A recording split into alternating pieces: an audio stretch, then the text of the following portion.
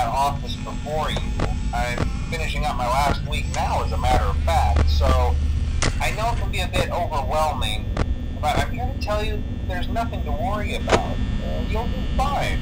So let's just focus on getting you through your first week, okay? Uh, let's see. First, there's an introductory greeting from the company that I'm supposed to read. Uh, It's kind of legal magical place for kids and grown-ups alike, where fantasy and fun come to life. Fazbear Entertainment is not responsible for damage to property or person. Upon discovering that damage or death has occurred, a missing person report will be filed within 90 days or as soon as property and premises have been thoroughly cleaned and bleached and the carpets have been replaced. Blah, blah, blah. Now, that might sound bad, I know, but there's really nothing to worry about. Uh, the animatronic characters here do get a bit quirky at night, but do I blame them? No. If I were forced to sing those same stupid songs for 20 years and I never got a bath, I'd probably be a bit irritable at night too. So remember, these characters hold a special place in the hearts of children and we need to show them a little respect, right? Okay. So just be aware, the characters do tend to wander a bit. Uh, they're left in some kind of free roaming mode at night. Something about their servos locking up they get turned off for too long. Uh, they used to be allowed to walk around during the day too, but then there was the bite of 87. Yeah. It's amazing that the human body can live without the frontal lobe, you know? Uh, now, concerning your safety, the only real risk to you as a night watchman here, if any, is the fact that these characters, uh, if they happen to see you after hours, probably won't recognize you as a person.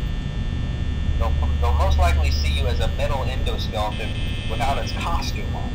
Now, since that's against the rules here at Freddy Fazbear's Pizza, they'll probably try to forcefully stuff you inside a Freddy Fazbear suit. Um, now, that wouldn't be so bad if the suits themselves weren't filled with cross-beam, wired, animatronic devices, especially around the facial area.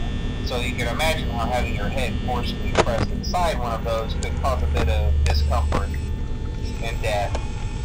Uh, the only parts of you that would likely see the light of day again would be your eyeballs and teeth when they pop out the front of the mask. yeah, they don't tell you these things when you sign up. But hey, first station of the breeze. I'll chat with you tomorrow. Uh, check those cameras and remember to close the doors only if absolutely necessary. Gotta conserve power. Alright, good night.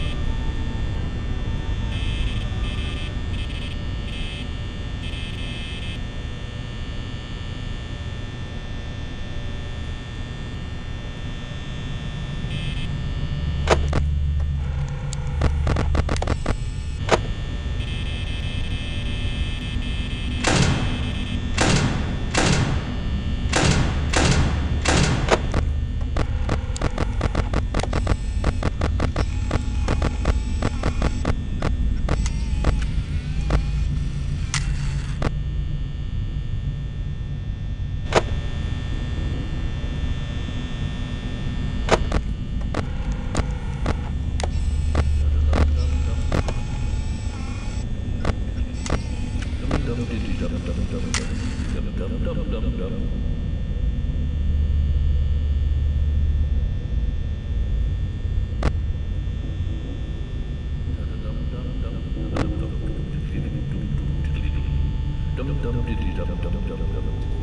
dum dum dum